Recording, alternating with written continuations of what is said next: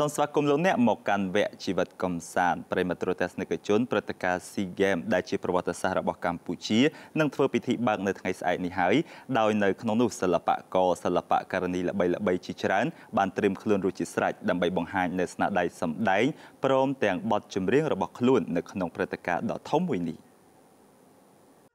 សិល្បករសិល្បករនីល្បីៗជាច្រើនដួងបានចេញបទចម្រៀងថ្មីៗរបស់ខ្លួនដើម្បីអបអរក្នុងព្រឹត្តិការណ៍ SEA Games ដែលកម្ពុជាធ្វើជាម្ចាស់ផ្ទះដោយបទចម្រៀងទាំងនោះធ្វើឡើងយ៉ាងសម្រិតសម្រាំងនិងគួរឲ្យចាប់អារម្មណ៍បំផុតហើយទស្សនិកជននឹងបានទស្សនាការសម្ដែងនិងច្រៀងរបស់ពួកគេនៅថ្ងៃស្អែកនេះ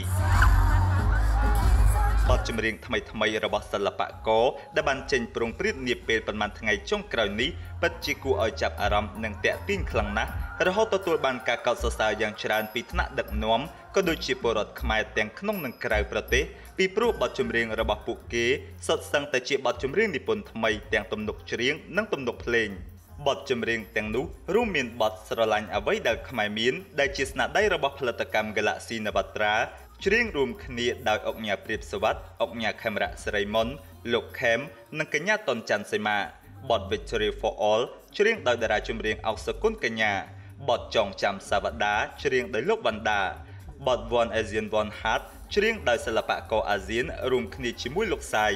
បទមហានគរច្រៀងដោយតារារ៉េបលោកជីដេវីត